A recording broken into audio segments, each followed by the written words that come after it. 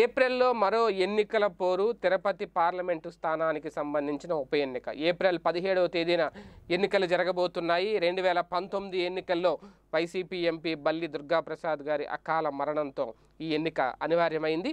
అయితే ఇప్పుడు హోరాహోరీ పోరు అన్ని పక్షాల మధ్య. అన్ని పార్టీలు కూడా చాలా సీరియస్గా బరిలోకి దిగుతున్నాయి. ఇక్కడ ప్రధానంగా ఇంకా బీజేపీ అభ్యర్థి ఎవరు అనేది డిసైడ్ అవ్వలేదు. జనసేన మద్దతుతో అక్కడ బీజేపీ అభ్యర్థిని కూడా నిలబెట్టబోతున్నారు. కానీ ప్రధాన పోటీ మాత్రం వైసీపీ టీడీపీ మధ్య మాత్రమే ఉంటుంది అనేది అందరికీ తెలిసిన సత్యమే. కాకపోతే జనసేన సపోర్ట్ చేయడం వల్ల బీజేపీకి ఎన్ని ఓట్లు పెరుగుతాయి అనేది ఇక్కడ ప్రధానంగా చర్చించుకోవాల్సిన అంశం.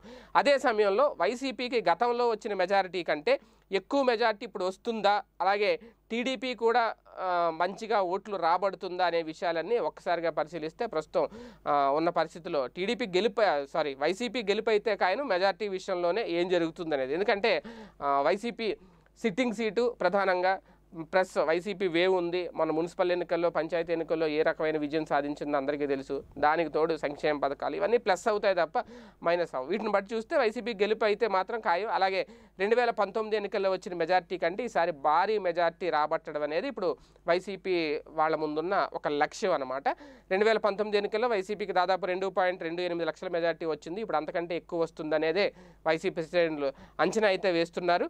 ఒకవేళ రెండు వేల పంతొమ్మిది కంటే మెజార్టీ తగ్గిస్తే గనక అది ఆ ఖాతా సారీ ఆ క్రెడిట్ టీడీపీ ఖాతాలో పడుతుంది అనేది. అప్పుడు ఇంకా ఏదో తెలుగుదేశం పార్టీకి ఉనికి ఉంది అని చాటుకున్నట్టు అవుతుంది. అది ఒక అడ్వాంటేజే అనేది.